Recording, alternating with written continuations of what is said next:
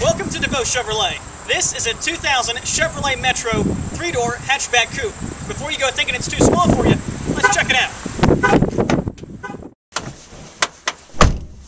This car actually gives you some decent legroom and, surprisingly, a lot of headroom. And if you need more room for cargo, the rear seats fold down. The engine is a 1.0 liter three cylinder, and that is matched up to a 5 speed manual transmission. Now, those low numbers may sound unimpressive, but what is impressive is the high numbers the gas mileage gets you 40 in the city and nearly 50 on the highway. That's right, nearly 50 miles per gallon on the highway. Some hybrids don't even get that. This Metro actually comes with some decent options as well. Air conditioning is one. There's also a stereo system with a cassette player and rear window defogger. Plus, this Metro has never been smoked in.